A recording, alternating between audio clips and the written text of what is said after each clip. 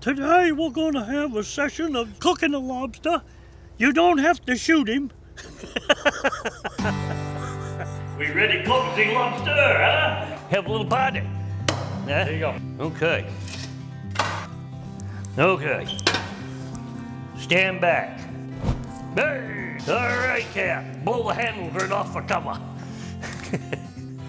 you got covers for these things? This gonna be fun.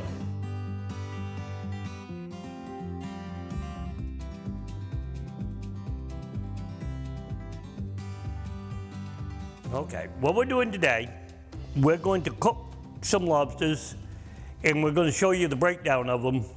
So when you, if you're not familiar with them at home, to get the meat the most out of the shell, we're going to show you how the shell is already laid out for you to do that. Now, most generally, people make a mistake and they fill the kettle full of water. And they put the lobster in there under the water. You don't need that much water because he's already got water in him. So maybe that much water in the pot, put a cover on it. The steam will work for you. They don't need to be cooked as long as you think.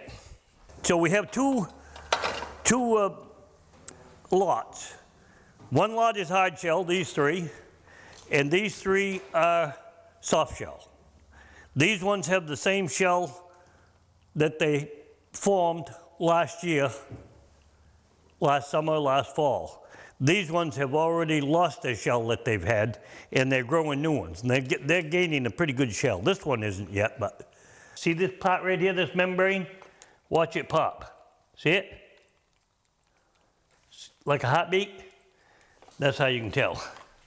Most generally, the hard ones, you can't do that. You can't squeeze the claw because the shell's too hard. So the hard shell, it's going to take a little bit longer to cook them, even though they're smaller. This one, where his shell, shell is very soft, you can see I'm pushing the shell in, that'll cook very quickly. Now, if you leave this in the same length of time you leave these in, the meat in these will disintegrate. It'll just crumble up. So you've got to be uh, watching them. And the way I do it, I take the thumb and pull the thumb out. On the end of the thumb, there's a transparent, little round, transparent thing. If that comes out with no meat on it, they're done. Put them right in cold water. Now, the reason for the cold water is to stop them from cooking. Because these shells, once they come out of here, uh, that water's boiling. So if you put them in the sink, let them cool, they're going to keep cooking. So your meat's going to start to get chewy. I got some rope in the truck. If you want a piece of rope chew on, I'll go get it and I'll cook them a little longer. but, but the, if you want to tender lobster, put them in the cold water. It does two things. It stops them from cooking and it pulls that meat away from the shell so that when you open them, the meat doesn't stick to the shell. ah, number one's ready. Okay. Come here, you.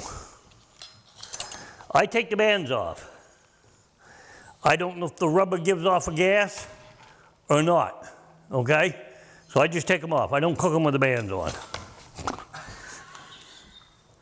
Watch it, Hoss, I'm after you. Almost got him. okay, here we go. Okay, go get your bath for the day. Get in there. Get a clock?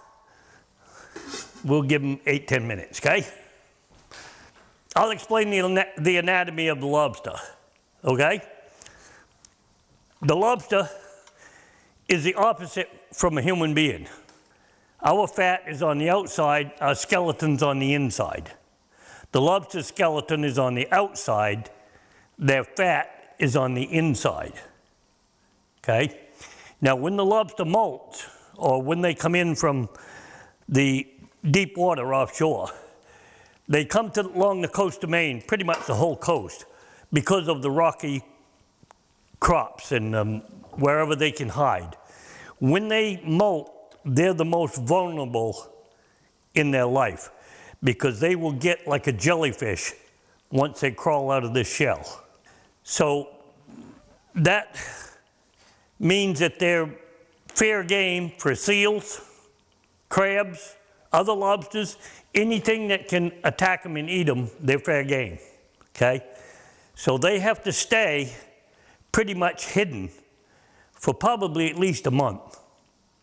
So what they're doing is living on this flesh on the inside because their saws, claws are so soft, they can't break any mussels or clams or catch a fish or anything else. So they have to stay put until that claw will allow them to eat. So that is why they're, they're about a month, they've been in hibernation probably a good month to do that.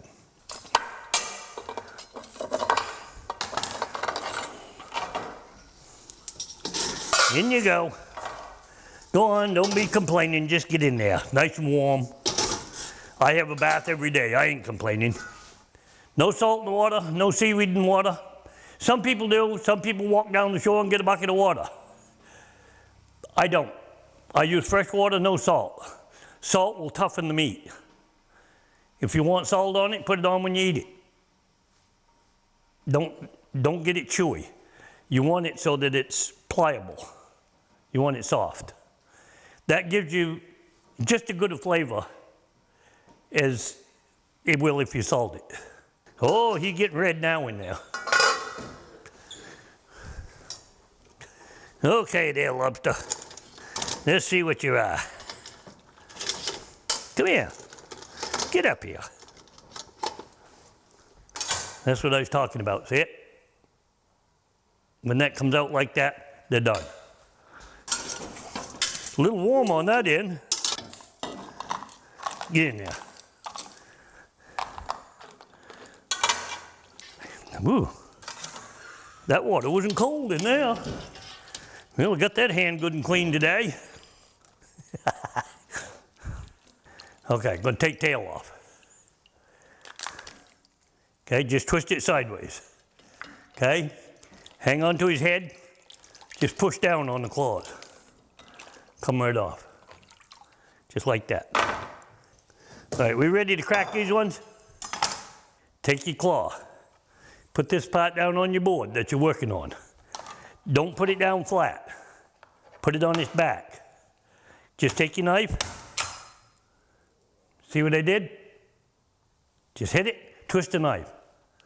Breaks the shell, just like that. That's all there is to it. Some people use like the pliers to break the claw.